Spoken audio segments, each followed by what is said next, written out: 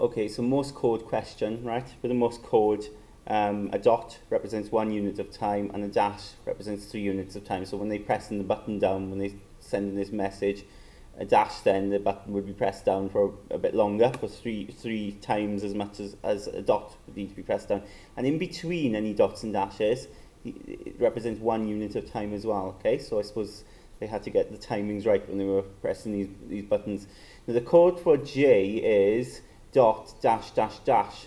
How many units of time does this take? Well, a dot, remember now, represents one unit of time, okay? So we've got one there. Um, dash represents um, three units of time. We've got three of them, okay? So we need to add three, three times, yeah?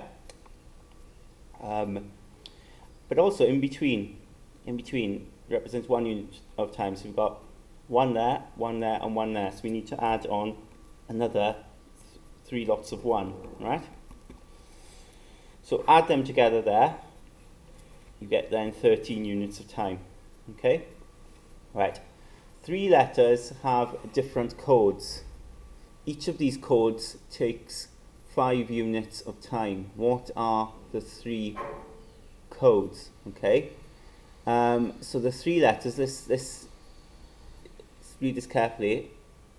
Different codes. Each of these codes takes five units of time. What could the, these? What are these three codes? Well, um, so if we think about one of the letters, then it's got to have um, it's got to have this here, isn't it? It could have a dash, okay, which would represent three units of time. Um, and then, of course, it could have a dot as well, which represents four units of time. But, of course, the gap between them would give me five, if that makes sense. Okay? So that's one way we could do it, isn't it? We could have a, a dash and a dot, dash dot, and gap between. So that's three units, that's one unit, that's one unit. Or we could have a dot dash. You could go that way. Okay, it's exactly the same really, but obviously the reverse process. Okay, adds up to five units. Um, the other possible approach you could have is three dots. Three dots. Because if we think about three dots, each represents one. Each represents one unit of time so that's 1 and 1 and 1, which is 3, but of course then there's 1 in between, one unit of time in between each of them, that adds up to 5. So those are the possible options there. Okay? Um, question